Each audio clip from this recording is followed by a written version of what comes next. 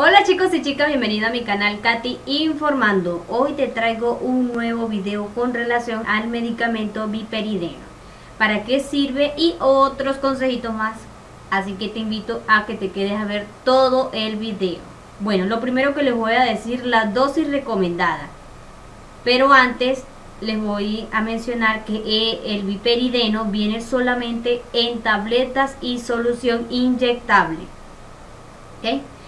En tabletas de 2, de 2 miligramos de 0 a 12 años media tableta para los niños. Para los adultos, una a 3 tabletas, una sola vez al día. En tabletas de 4 miligramos para los niños de 0 a 12 años no está recomendado. Para los adultos, una sola toma, una sola vez al día. En solución inyectable, para los niños de 0 a 12 años de 0.2 a 0.4 miligramos. Para adultos, 1 miligramo, una sola vez al día.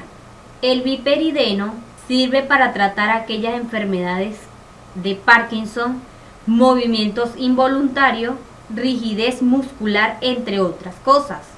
Reduce también la sensación de temblor o inquietud muscular Controla la disinencia tardía. ¿Qué quiere decir esto? Es una infección caracterizada por movimientos involuntarios, producido por medicamentos antipsicóticos. Este medicamento se recomienda tomar los niños después que cumplen los 3 años de edad, a menos que sea prescrito por un profesional en este caso. La seguridad y calidad de este medicamento no está garantizada para los niños. Se los voy diciendo de una vez, mucho cuidado. Esto puede traer muchas consecuencias, incluyendo la muerte. Si llegas a presentar dolor de cabeza, mareo, trastorno del habla, insomnio, confusión, ansiedad, sedación, alucinaciones, erupciones en la piel, inflamaciones, enfermedades renales también, es peligroso, ¿ok?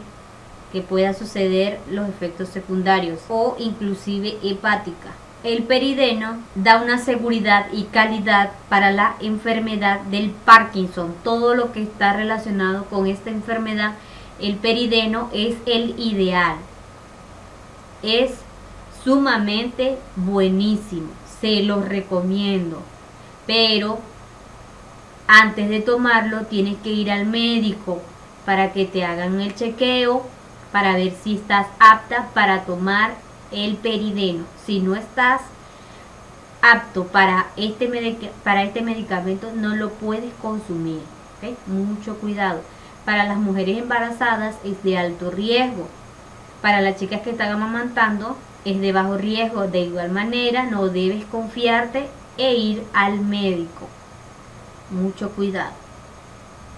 Bueno chicos, esto es todo por hoy, espero que les haya gustado mi video. Por favor no olvides compartirlo en tus redes sociales, bien sea en Facebook, Twitter, Instagram o en cualquier otro tipo de redes sociales.